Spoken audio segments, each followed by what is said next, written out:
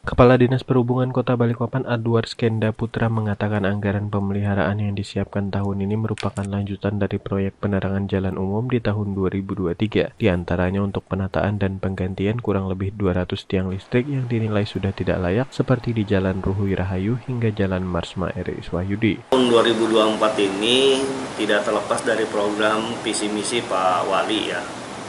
Eh, Kemudian nah ini adalah kelanjutan daripada program prioritas Pak Wali tentang Balikpapan Terang.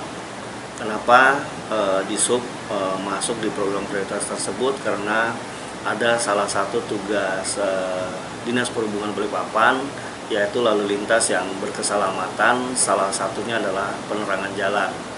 Nah, eh, jadi eh, kegiatan yang paling besar kami dibantu di dalam uh, mendukung program uh, Balikpapan Terang